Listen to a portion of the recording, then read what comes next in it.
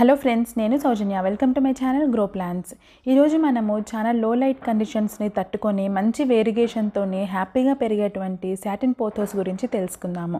అసలు ఇది ఎలాంటి ప్లాంట్ ఇంకా దీన్ని ప్రాపగేషన్ ఎలాగ చేసుకోవాలి? బేసిక్ కేర్ ఏంటి? అన్నీ కూడా ఈ వీడియోలో తెలుసుకుందాము.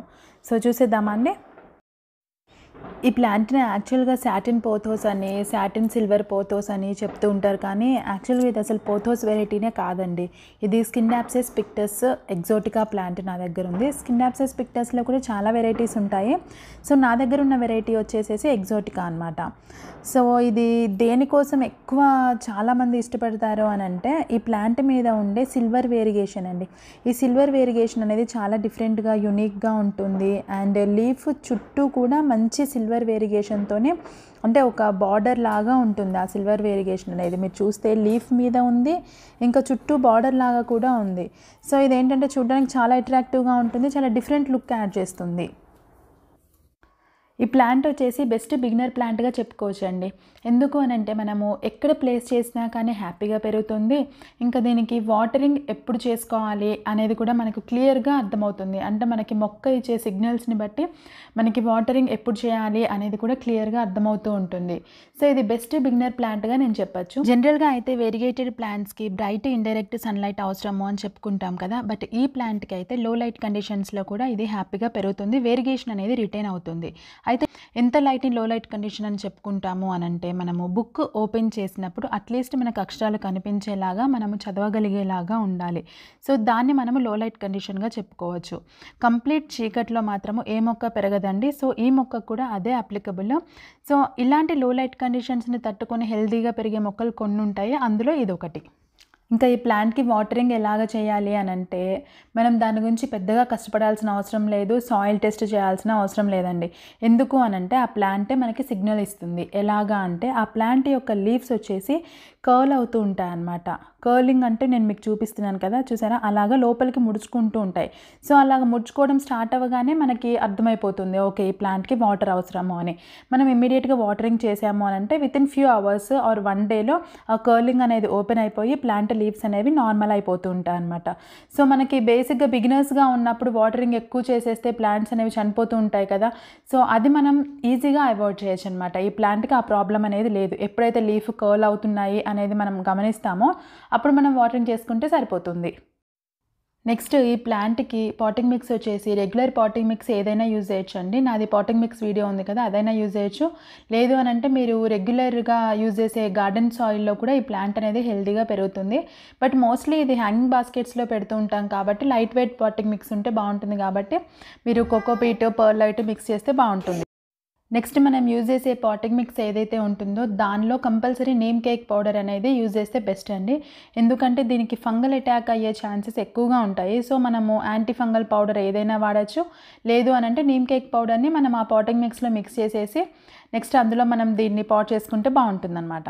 ఈ ప్లాంట్కి ఫెర్టిలైజేషన్ విషయంకి వస్తే ఇది హెవీ ఫీడర్ ప్లాంట్ అయితే కాదు. సో మనం ఒకవేళ గార్డెన్ సాయిల్ యూజ్ చేసేలా అయితే అందులో కౌడంగ్ మాన్యూర్ వేసుకోవచ్చు. Basically nitrogen rich fertiliser use చేయాలి కదా. ఎందుకంటే ఇది లీవ్స్ బాగా పెరగాలి అని అంటే నైట్రోజన్ అనేది ఎక్కువగా ఉండాలి. సో మీరు కౌడంగ్ మాన్యూర్ యూజ్ చేసుకోవచ్చు. ఇంకా సీవీడ్ సొల్యూషన్స్ కూడా యూజ్ చేసుకోవచ్చు. లేకపోతే వర్మి కంపోస్ట్ అయినా వాడచ్చు. ఏదైనా కానీ మంత్లీ ఒకసారి చేస్తే సరిపోతుంది. ఇది హెవీ ఫీడర్ ప్లాంట్ కాదు. టూ వీక్స్కి త్రీ వీక్స్కి అయితే అవసరం పడదండి. నేనైతే ఓన్లీ మంత్లీ వన్స్ ఒకసారి నేను దీనికి ఫెర్టిలైజేషన్ అనేది చేస్తూ ఉంటాను. అయితే ఈ ప్లాంట్కి కొత్తగా వచ్చే లీవ్స్ అనేవి చాలా చిన్నగా రావడము ఇంకా పెద్దగా పెరగకపోవడము అలాగనే ఉండడము ఇంకా గ్రోత్ అనేది చాలా తక్కువగా ఉండడము ఇలాంటి సిగ్నల్స్ వచ్చినప్పుడు మనం ఫెర్టిలైజేషన్ చేయాల్సిన అవసరం ఉంది అని అర్థం చేసుకొని ఫెర్టిలైజేషన్ అనేది మనము చేస్తూ ఉండాలి. ఈ మొక్కకే కాదండి ఏ ప్లాంట్కైనా కానీ కొత్తగా వచ్చే లీవ్స్ అనేవి చాలా చిన్నగా రావడము పాత లీవ్స్కి కొత్త లీవ్స్కి సైజ్ డిఫరెన్స్ అనేది చాలా ఎక్కువగా ఉండడము ఇంకా గ్రోత్ అనేది చాలా తక్కువగా ఉండడము ఆ పెరుగుదల అనేది ఆ చిన్న లీవ్స్తో అలాగనే ఆగిపోయి మళ్ళీ కొత్త లీఫ్ ఇంకొక లీఫ్ వేయడానికి ట్రై చేస్తూ ఉంటుంది కదా. సో ఏంటంటే ఆ లీఫ్ అనేది మంచి సైజ్గా అనేది రాదు. సో అలాంటప్పుడు మనము క్లియర్గా మనకు అండర్స్టాండ్ అవుతుంది అనమాట ఓకే ఈ మొక్కకి ఫెర్టిలైజేషన్ చేయాల్సిన అవసరం ఉంది అని. ఇది అన్ని మొక్కలకి ఇదే ఫండమెంటల్ థింగ్ అండి. ఈ ప్లాంట్కి ప్రాపగేషన్ చేయడం అనేది చాలా సింపుల్ అండి. పోథోస్కి ఫిలోడెండ్రన్స్కి ఏరియల్ రూట్స్ ఎలాగైతే ఉంటాయో సేమ్ స్కిండాప్సిస్ పిక్టస్ ప్లాంట్స్కి కూడా ఏరియల్ రూట్స్ అనేవి అలాగనే ఉంటాయి. సో అలాగే ఏరియల్ రూట్స్ ఉండే ప్లాంట్స్కి మనము కటింగ్స్ త్రూగా ఈజీగా ప్రాపగేట్ చేసుకోవచ్చు.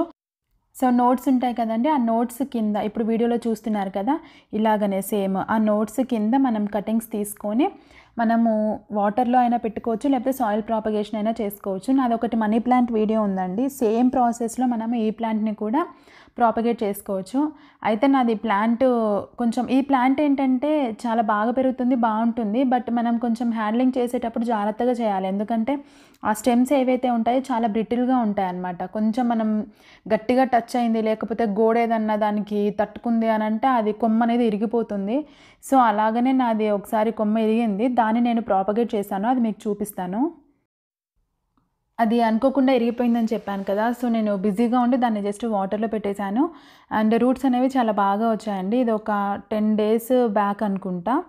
సో చూసారు కదా అక్కడ రూట్స్ అనేవి బాగా డెవలప్ అయ్యాయి. సో ఈ స్టేజ్లో మనము సాయిల్లోకైనా మనము మార్చుకోవచ్చు. లేదు అని అంటే ఇంకొంచెం బాగా రూట్స్ మేబీ ఒక త్రీ ఫోర్ ఇంచెస్ రూట్స్ పెరిగే వరకు మనము వాటర్లోనే సేమ్ త్రీ ఫోర్ డేస్కి ఒకసారి వాటర్ చేంజ్ చేసుకుంటూ మనము ఈ ప్లాంట్ ప్రాపగేట్ చేసుకోవచ్చు అనమాట నాది వాటర్ ప్రాపగేషన్ టెక్నిక్స్ది ఒకటి వీడియో ఉందండి. సో అది మీరు చూస్తే మీకు వాటర్ ప్రాపగేషన్ చేసుకునేటప్పుడు మనం ఎలాంటి జాగ్రత్తలు తీసుకోవాలి అనేది అర్థమవుతుంది. సో వాటర్ ప్రాపగేషన్ చేశాక మనకు కొత్త లీఫ్ కూడా వచ్చింది. అండ్ ఇది మేబీ ఇంకొక ట్వంటీ డేస్ వాటర్లోనే ఉంచేస్తాను. నెక్స్ట్ నేను దీన్ని సాయిల్లోకి కన్వర్ట్ చేస్తాను. ఈ ప్లాంట్ని అయితే నేను చాలా హైగా రికమెండ్ చేస్తానండి. ఎందుకంటే ఇది లో లైట్ కండిషన్స్ని తట్టుకుంటుంది. ఇంకా పెంచుకోవడం అనేది చాలా ఈజీ ప్రాపగేషన్ అనేది ఈజీ.